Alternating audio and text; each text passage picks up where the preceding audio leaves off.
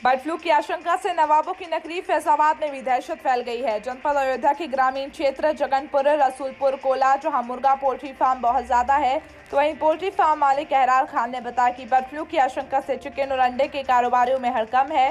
Chicken और अंडे के कारोबार में लगभग पिछहत्तर प्रतिशत कारोबार में गिरावट आई है। नॉनवेज की शौकीन अब अंडे और मुर्गे से दूरी बना ली है, जिसकी वजह से अंडे और चिकन के कारोबारियों में निराशा देखी जा रही है।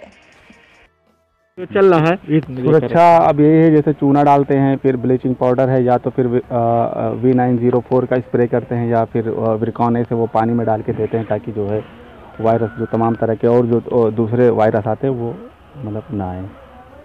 बाकी थोड़ा साफ़ सफ़ाई है।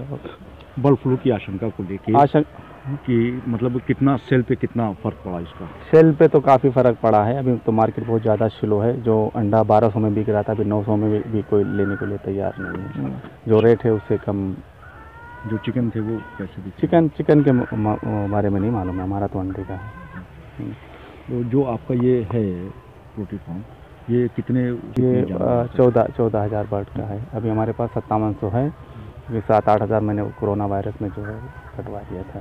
क्या लगता है कि अगर बर्ड फ्लू अभी चूँकि आया नहीं अगर आ जाता है तो कितना फ़र्क पड़ेगा आपके बिज़नेस में? बर्ड फ्लू अब आ जाएगा तो अभी तो खाली अफवाह तकरीबन है। अभी अपने यहाँ तो कुछ ऐसा फैजाबाद में पुष्टि हुई नहीं है। अगर आ जाएगा तो फिर देखेंगे आगे चल के क्या होगा। फ़िलहाल सेलिंग तो बहुत ज़्यादा सेलिंग पे बहुत इफ़ेक्ट पड़ा हुआ है बहुत स्लो हो गई विभागीय कोई आता है विभागीय हाँ विभागीय जो है यहाँ जो पशु अस्पताल है रौनाही में। वहाँ से डॉक्टर साहब आए थे उन्होंने वो अपना देख के गए क्या नाम है आपका? कौन सी आसिफ आसिफ खान। किस नाम से poultry farm Rasulpur Sakrawal Asif poultry farm.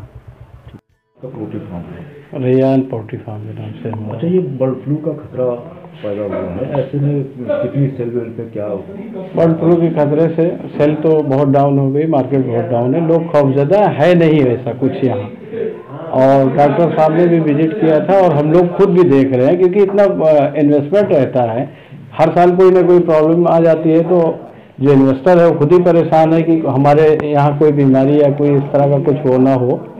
तो अभी हम लोग, डॉक्टर साहब ने भी विज़िट किया था उनका कार्ड भी रखा हुआ नंबर रखा हुआ है। हम लोग खुद भी जितनी ज़रूर ज़रूरत की मेडिसिन है वो अवेलेबल की है हैं जैसे क्या क्या एहतियात बरत एहतियातन हर चीज़ में साफ़ सफ़ाई पे ध्यान रख रहे हैं और हर तरह का प्रोटेक्शन जो होना चाहिए दवाएँ जितनी हैं वो डलवाते हैं। और प्लस आसपास हम खुद अपने आदमियों को कहते हैं कि आप देखते रहो कोई बर्ड अदर बर्ड भी अगर वहाँ मर रही तो इन्फॉर्म करेंगे डॉक्टर को।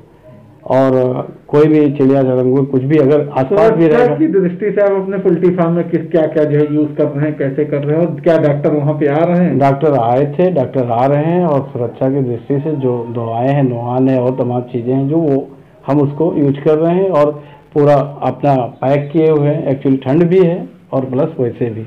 सारी चीज़ें। कोविड नाइन्टीन अभी खत्म नहीं हुआ है। नहीं, कोविड को देखते हुए क्या मास्क वास्क की कैसी व्यवस्था आपके हाँ? कोविड नाइन्टीन तो नहीं खत्म हुआ है लेकिन मास्क तो क्या है एक्चुअली पोल्ट्री फार्म में काम करने वाले तो पूरा अपना खुद ऐसे ही कवर करके रखते हैं एनी टाइम बाँध के रखते हैं क्योंकि थोड़ा सा गंद भी होती है उसमें।